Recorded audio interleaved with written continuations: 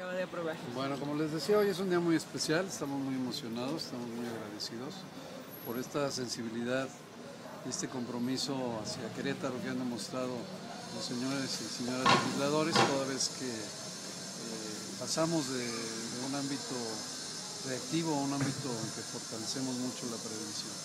Por otro lado también, en particular, un reconocimiento al diputado Antonio Cabrera, que desde siempre ha estado muy al pendiente y ha estado muy cercano a nosotros, ha vivido de cerca lo que es el día con día de la protección civil. Y esta sensibilidad la ha llevado a, la tribuna legislativa de tal manera que pues, ha sido un portavoz importante del trabajo que hace todo nuestro personal.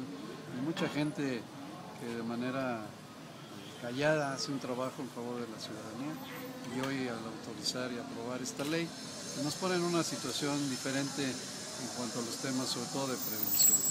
Señor gobernador, sin duda que ha sido un, una persona, un gran impulsor de una cultura de la prevención en la protección civil. Mi reconocimiento también a él y al señor secretario de gobierno su